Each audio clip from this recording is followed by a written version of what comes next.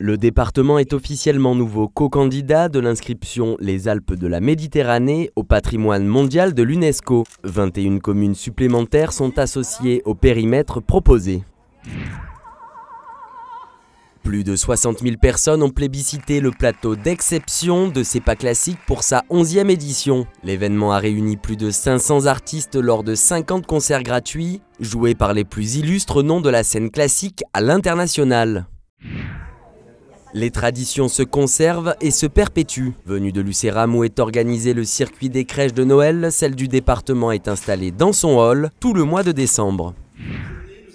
Le tourisme à la loupe. Les premières rencontres départementales du tourisme se sont déroulées à Antibes devant un auditoire comble. Conférences, débats et tables rondes ont captivé les acteurs clés des Alpes-Maritimes.